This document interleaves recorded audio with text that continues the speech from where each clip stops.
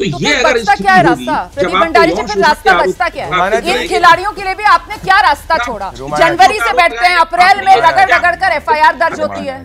जी आइए। रुमाना जी भूपेंद्र पटेल जी का अभय जी अभय जी जवाब दे रहे हैं प्रदीप भंडारी जवाब दे पटेल जी का पूरा अगर स्टेटमेंट आपने जो ट्वीट पढ़ा मैं उसको आगे भी थोड़ा सा पढ़ लेता हूँ। आपने पहले तीन चार लाइन पढ़ी उसके आगे वो क्या कहती है? मैं हैं पढ़ता हूँ सुनिए तो राज्य तो समझिए ना रुमाना जी। वो कह रही है कि भाई जो चार्जशीट होती है 24 घंटे के अंदर भावनगर के अंदर सुनिए मेरी बात जस्टिस बावन दिन के अंदर हुआ। वो कह रहे हैं कि कलकत्ता के अंदर कलकत्ता पुलिस ने एक रेप और मर्डर के केस को सुसाइड का केस कह दिया जिसको कलकत्ता हाईकोर्ट और सुप्रीम कोर्ट ने माना। तो वो डिफरेंस बताने की कोशिश करें, ममता बैनर्जी को, कि रेपिस्ट को बैक करने का प्रयास ना करें। और आप मुझे बताइए, Romana ji charge sheet Delhi police ने दाखिल करी, उसके बाद विनेश फोगट जो है ओलंपिक्स में गई, पूरी की पूरी सरकार ने उनका समर्थन किया आउट ऑफ़ पूरे हर हर हर तरीके से जाके समर्थन किया। परंतु कांग्रेस पार्टी के लिए नीरज चोपड़ा कांग्रेस पार्टी ने नीरज चोपड़ा के लिए नहीं किया। कांग्रेस पार्टी ने नीरज चोपड़ा को नहीं कर्तव्य किया। तो कर्तव्य क्या। किया।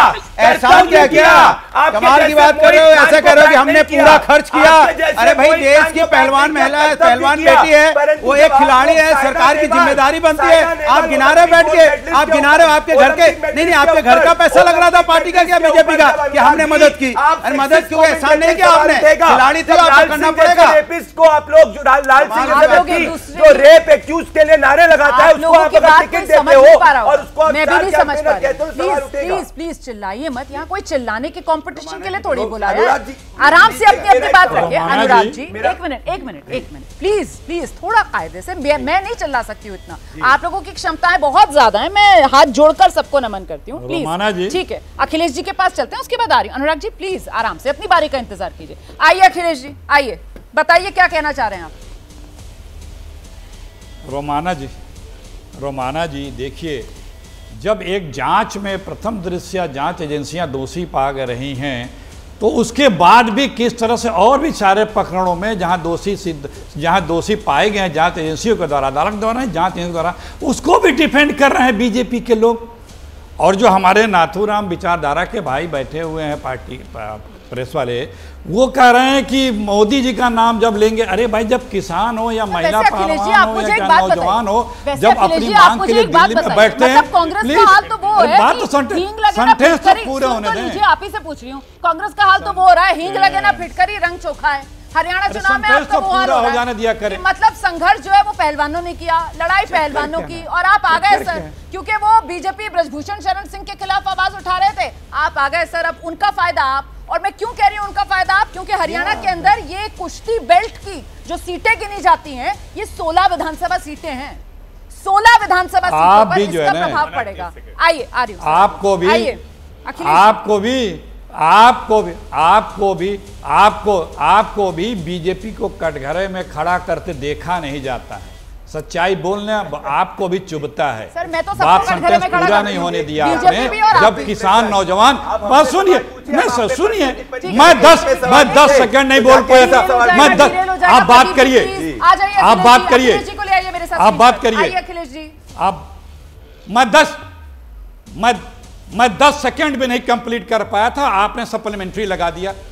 मैं ये कह रहा था कि जब किसान अगर धरने पे बैठ रहे हैं हमारे देश के नामी गिरामी पहलवान धरने पे बैठ रहे हैं। अच्छा। सरकार को आगे बढ़ के उनकी न्याय की बात करनी चाहिए। ये दिखाना चाहिए कि सरकार फेयर है तो बताते हैं पाकिस्तानी है चीनी है नक्सल है आतंकी हैं ये ये राजनीतिक मोटिवेटेड है फलाना है धमाके हैं। ये बात करती है बीजेपी तब प्रश्न खड़ा होता है देश के मुखिया के ऊपर कि जो दिल्ली में बैठे हुए हैं वो इनसे मिलने के बजाय इनको न्याय दिलाने के बजाय दोषियों के साथ जब खड़े होंगे तो बात उठेगी। और आज बीजेपी परेशान है हरियाणा में पूरे देश में।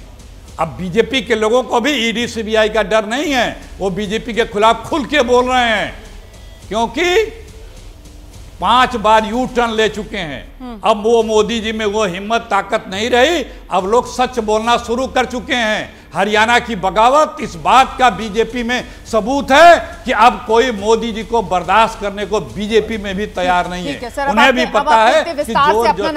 ज़बरदस्ती से आप बहुत दिनों तक दबा के नहीं रह सकते। प्रदीप जी एक तो ये जो सवाल यहाँ पर अखिलेश जी की तरफ़ से खड़े किए जा रहे हैं और दूसरा ये कि क्या इस डेवलपमेंट के बाद क्योंकि पॉलिटिकली माहौल हरियाणा का बहुत हॉट है बीजेपी को नुकसान होगा? रोमाना जी पहले तो मैं वापस से रीट्रेट करूँगा. एज खिलाड़ी भले साइना नेहवाल हो नीरज चोपड़ा हो विनेश फोगट हो हम सबका सम्मान करते हैं. परंतु जब कोई राजनीति के अंदर आएगा उसका राजनीतिक मोटिव होगा तो हम सवाल करेंगे। ये हरियाणा की बात कर रहे हैं। जिन्होंने पर्ची और खर्ची पे पूरी सरकार चलाई जिन्होंने हरियाणा में से भ्रष्टाचार किया जो अपने तीन नेताओं के हाथ नहीं एक दूसरे से मिलवा पा रहे वो बात करेंगे बगावत की। इनके तो ऊपर सोनिया गांधी कैंप पर लगे राहुल गांधी कैंप पर लगे उन्होंने इस खेल का क्या हालत किया था? ये देखिए कांग्रेस पार्टी के समय की रिपोर्ट कि हॉकी प्लेयर्स जो है उनको बूट्स तक नहीं मिले थे ओलंपिक्स में। पच्चीस का कैश प्राइज लेने का मना कर दिया था। अखिलेश जी को ओपन चैलेंज करना चाहता हूँ स्पोर्ट्स पे डिबेट करिए जितना हमारी सरकार ने खिलाड़ियों के लिए किया है। इनसे दस गुना ज़्यादा किया है। इन लोगों ने सुरेश कलमाड़ी जैसे को आईओए का प्रेसिडेंट बनाया आईओए जो है वो डिसबैंड हो गई थी इंडियन ओलंपिक एसोसिएशन हमने पीटी उषा को ओलंपिक का आईओए का चेयरमैन बनाया और प्रेसिडेंट बनाया। इनमें और हम में ये फ़र्क है रुमाना जी। जैसे ही घड़ी का काटा दोपहर ढाई पे आए बबीता जी का दिल सास बहू साजिश के लिए मचल जाए। और ये है इनकी बहू।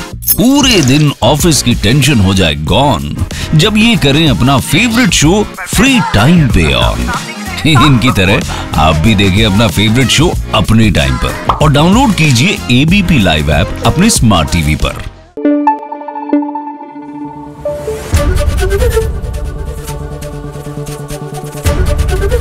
एबीपी न्यूज़ आपको रखे आगे.